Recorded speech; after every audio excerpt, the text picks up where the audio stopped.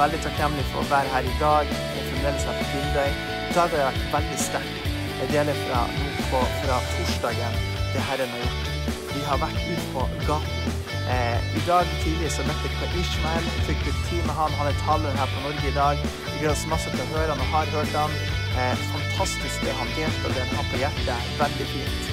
Eh, så har jeg da før han på gaten, jeg tok eh, bussen inn. Jeg traff på Ingrid Olsen, Eivind Skjæret. Eh, jeg traff på, eh, på Sindre Eivind. Og vi for ut på gata og elska mennesker. Vi ba for folk der, og vi fikk lov til å se at Guds rike gikk, gikk, gikk foran. Vi, fikk, vi snakka med ei som kom til oss. Vi delte ut sånne afterparty-billetter for Kronhamn som skal være nå. Og vi delte ut. Og rett og slett mens vi delte ut det her, så ser vi at folk bare tar imot. Folk er åpne, folk ønsker å bli bedt for. Og eh, vi hadde masse gode samtaler. Eivind, f.eks., han stilte seg opp på plattform og bare delte evangeliet i byen. Ropte om Jesus. Og folk kom til en ungdom og kom, han fikk være med og be for dem og velsigne dem. Det var en ungdom som ble momentant helbredelse fra, fra forkjølelse som han bare forsvant. Fantastisk. Så ba vi for flere, og jeg fikk lov å følge med Eivind hvordan han gjorde det. Veldig sterkt å se. Eh, delte òg med en eh, ungdom på rundt 17 år eh, som hadde vondt i ryggen sin. og Han bare han var der, og så sa han 'bli helbreda', og, og, personen var helbreda. Han sa han at 'bli helbreda', bare han og så sa han 'test ut', og personen var helbreda. Det var jo det Jesus elsker deg. Eh, ba også for en gutt. Eivind ba for han, han hadde vondt i hælen sin, og så ble han helbreda. Han ble trampa opp og ned, opp og ned, og så var han helbreda. Ingen smerte. Eh, Sindre annet, han drev og rappa evangeliet til en hel ungdomsgjeng. Eh, og vi fikk også, eh, jeg og Sindre fikk også snakke med ei jente og dele mer om Jesus. Vi følte at hjertet for henne profeterte over henne, og vi ba om at hun skulle bli fylt med Den hellige ånd. Og hun kjente Guds varme kraft i møte henne, og hun kjente noe skje. Fantastisk. Digger. Ingrid var også der. Ingrid Olsen, fantastisk gudskvinne. Halleluja. Amy Sington McPherson of Bergen, altså. Hun bare var til stede, velsigna folk. Folk ble møtt av Guds kraft. Guds rike gikk så mektig fremover. Det var fantastisk å se hvordan Guds kraft bare kom, og hvordan mennesker opplevde å bli helbreda. For Ingrid ba for en ungdom så jeg, og hun ba for ei som hadde konstant smerte i leggen sin, og den jenta ble helbreda. Hun var kanskje 16 år, 18 år, og hun ble hysterisk glad. Hun husker hva hun skulle gjøre og så hun sa det her er vilt, det her er vilt. Og det var så gøy å se det for meg. Eh, og så fikk vi dele evangeliet med flere, så Amund en for en kar. Eh, som vondt til skuldra skal fra til ti, så var det på ti. Ble bedt for, gikk ned til fem. Fantastisk. Så hadde vi en herlig kaffe sammen. Vi snakka sammen om revival. Så var vi tilbake på Betel misjonshuset der og bare ba og tilba Gud litt og gjorde oss klar for det som skal være med Kronhavn. Så det var veldig fint. Fantastisk.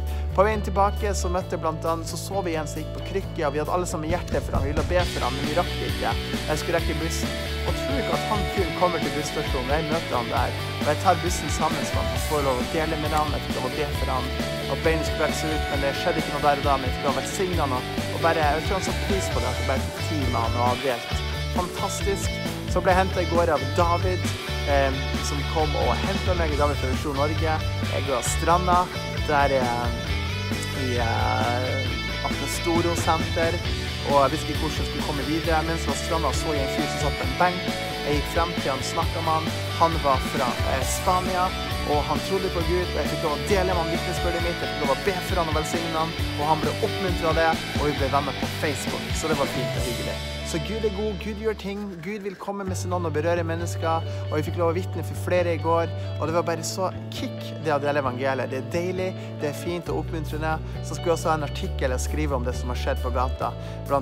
fra den dagen her. Så ser jeg frem mot krona. Gud er god. Hei, hei, folkens. Veldig takknemlig for å være her i dag. Jeg er fremdeles her på Bildøy. I dag har det vært veldig sterkt. Jeg deler fra nå på fra torsdagen det Herren har gjort. Vi har vært ute på gaten. Eh, I dag tidlig så møtte jeg på Ishmael. Fikk brukt tid med han. Han er taleren her på Norge i dag. Vi gleder oss masse til å høre han og har hørt han.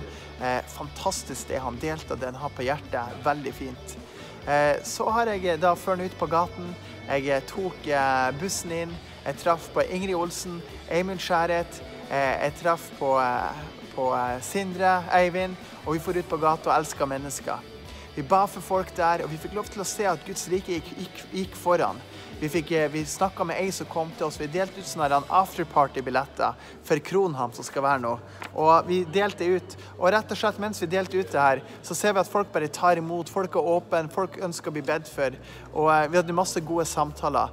Eivind, f.eks., han stilte seg opp på plattform og bare delte evangeliet i byen og ropte om Jesus. og Folk kom til en ungdom og kom, han fikk være med og be for dem og velsigne dem.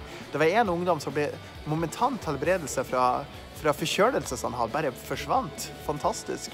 Så ba vi for flere, og jeg fikk lov å følge med Eimin hvordan han gjorde det. Det var veldig sterkt å se.